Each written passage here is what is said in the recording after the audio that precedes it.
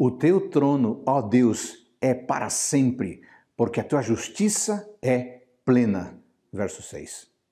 Em última instância, estas palavras se referem a Jesus Cristo e exaltam a sua divindade. Mas, por outro lado, enquanto esteve aqui na terra, Jesus Cristo demonstrou a sua humanidade. Deus, homem.